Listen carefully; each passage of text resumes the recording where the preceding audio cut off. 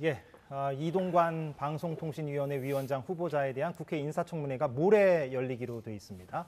아, 과거 이명박 정부 시절에 청와대에 근무할 당시 언론사 인사 개입이나 불법 사찰에 관여했다는 의혹, 그리고 아들의 학교 폭력 문제, 아마 이런 것들이 어, 쟁점이 될 것으로 보입니다. 그런데 어, 이동관 후보자가 정식 임명되기도 전, 전에 예, 요즘 방통위가 어, KBS와 MBC를 둘러싸고 시끄러운 상황이기 때문에 여권 입장을 한번 좀 들어보려고 합니다. 인사청문회가 열리는 곳이 국회 과학기술정보방송통신위원회, 예, 좀 길죠. 줄여서 과방이라고 하죠. 이 과방위 소속 국민의힘 홍석준 의원 제 옆에 나왔습니다. 어서 오십시오. 예, 안녕하십니까? 예. 오랜만에 뵙습니다. 예. 오늘 그 민주당 의원은 이 자리에 없고 예. 또 아시다시피 이제 언론 현업 단체에서는 이동관 후보자에 대해서 반대 목소리도 많이 내고 있는 상황이라서 근데 언론 현업 단체 사람도 이 자리에 없기 때문에 제가 약간 인터뷰를 불가피하게 좀 토론 형태로 좀 예, 진행을 그러시죠. 하도록 하겠습니다. 네, 네, 예, 그리고 네, 제가 원래 진행하는 스타일이 예. 예, 어떤 이슈건 간에 좀 토론 방식으로 진행을 하는 편이기도 하기 네, 네. 때문에 예, 오늘 좀 그렇게 음. 얘기를 좀 해보도록 하겠습니다. 이동관 후보자 관련한 질문 좀 뒷부분에서 하기로 하고요. 먼저 그 방통위가 예, 얼마 전에 KBS 남영진 이사장 해임 의결했고요. 해임이 됐습니다. 대통령 제가까지 받아서. 그리고 MBC 박문진 이사장, 예, 권태선 이사장이죠. 해임 절차를 지금 밟는 중입니다. 예, 속전속결이라고 할 수 있는데.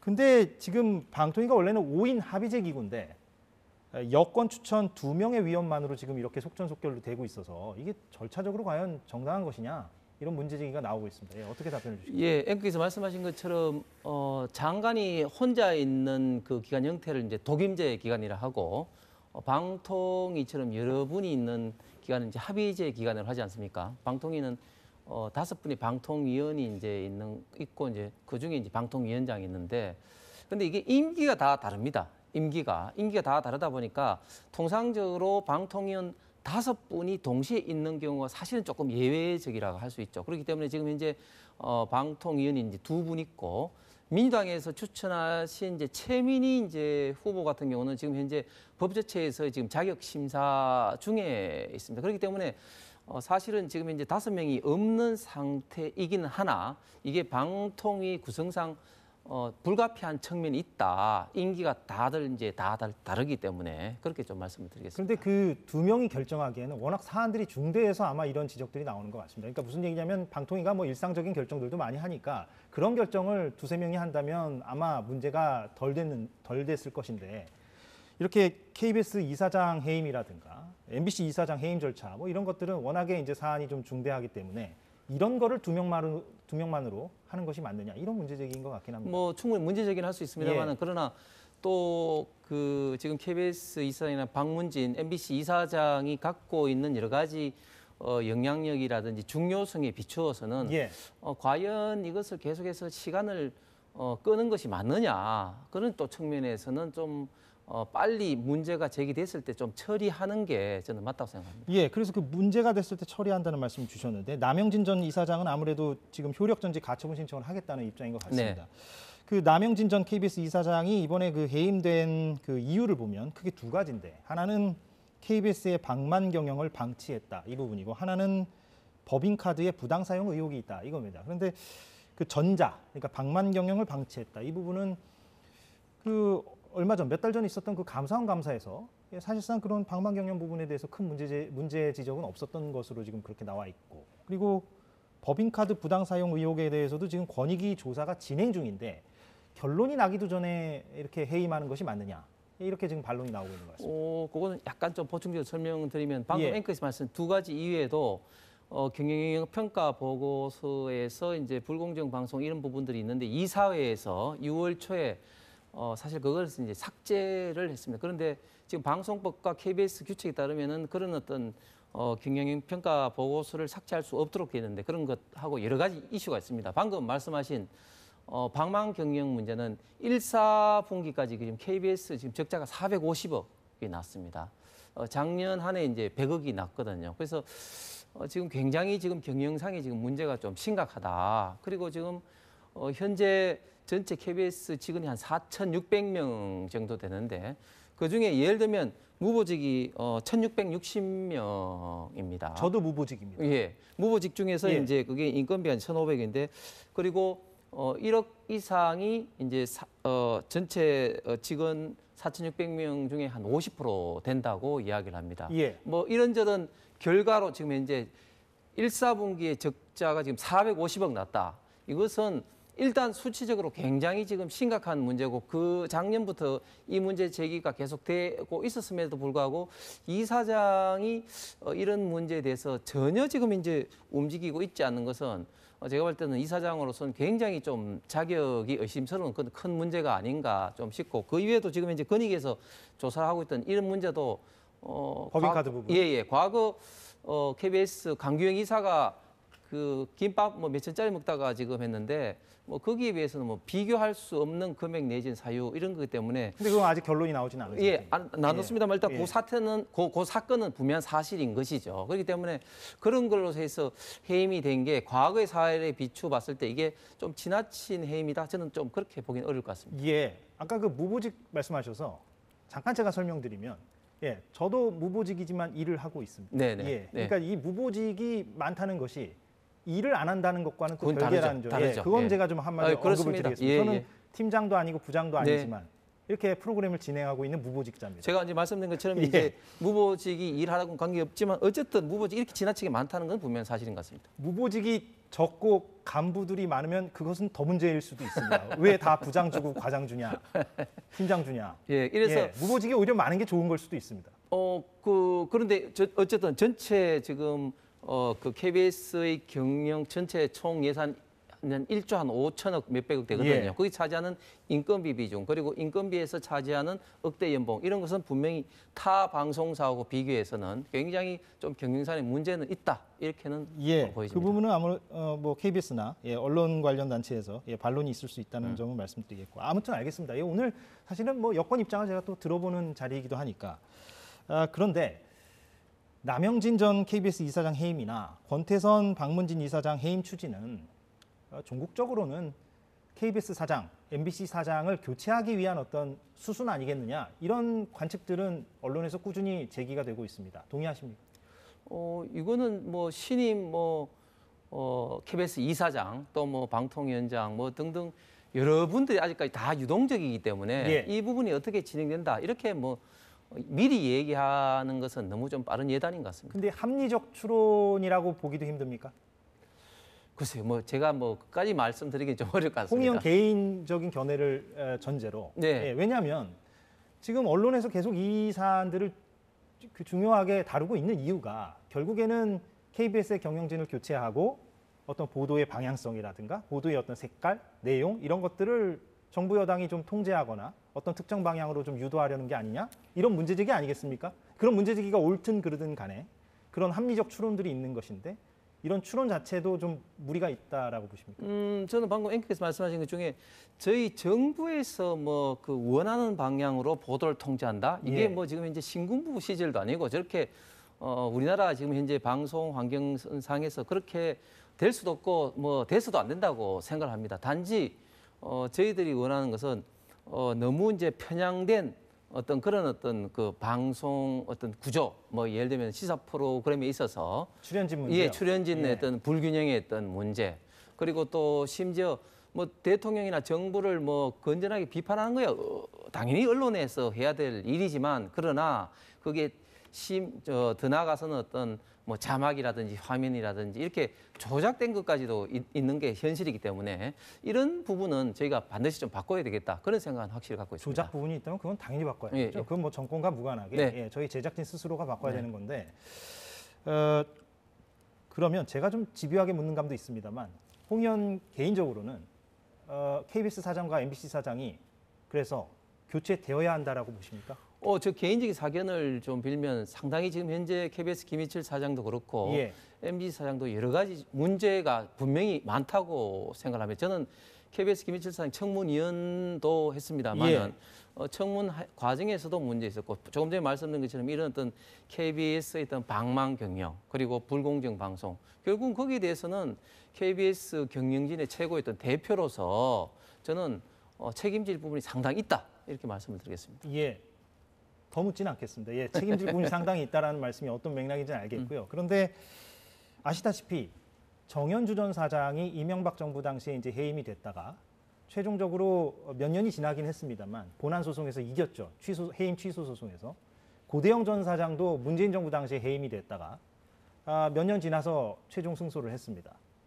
어, 지금 KBS 사장이나 MBC 사장이 만약에 에, 해임이 된다면 그건 역시 법원에서 또 판단이 있을 것 같긴 한데 제가 말씀드리려는 것은 만약에 해임이 이뤄진다면 그것이 종국적으로는 좀 위법성이 있지 않느냐 예, 이런 비판은 아마 따라올 것 같긴 합니다. 예. 어, 제가 문재인 정부 초기에 어떤 적폐청산이라는 강풍이 불면서 이 언론에서도 방금 말씀하셨듯이 MBC 김장겸 사장 또 어, 고대영 사장을 해임시키고 심지어 뭐 이사들이라든지 패널이라든지 한 그런 어떤 과정을 지금까지 제가 쭉 살펴봤습니다.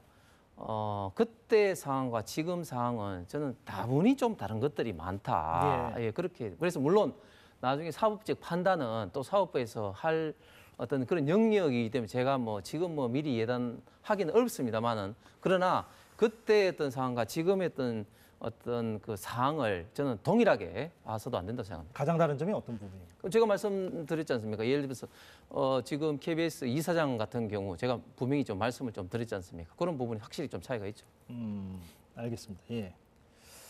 그 그런데 지금 편파 방송이나 방송 공정성 문제를 이제 제기하셔서 어, 제가 아까 그 인터뷰 서두에서도 말씀드렸듯이 약간 토론적인 성격으로 제가 인터뷰를 진행하기 위해서 저희가 준비한 데이터가 있는데 예, 잠깐 보고 예, 이걸 토대로 좀 질문을 제가 드려보겠습니다.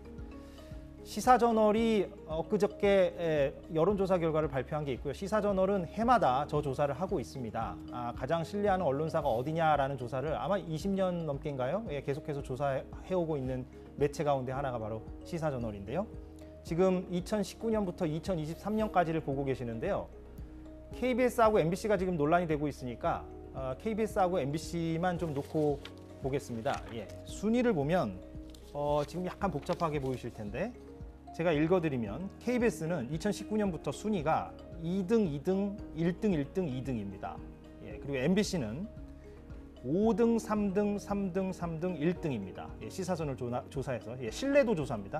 영향력 조사도 따로 있는데 제가 일부러 가져오진 않았습니다. 영향력과는 좀 무관하고 신뢰도가 그 편파 방송이나 이런 부분에 있어서는 예, 반증의 어떤 사례가 될 수 있기 때문에 다음 거 볼까요? 예, 시사인입니다. 이것은 맨 위에 보시면 시사인으로 바뀌어 있죠. 시사인도 해마다 조사를 합니다. 가장 신뢰하는 언론이 어디냐? KBS만을 말씀드리면요. 2018년부터 작년까지 조사합니다. 올해는 아직 안 나왔어요. 2등, 3등, 3등, 1등, 1등입니다. KBS가. 예, 수치는 좀 변화가 있습니다. 예.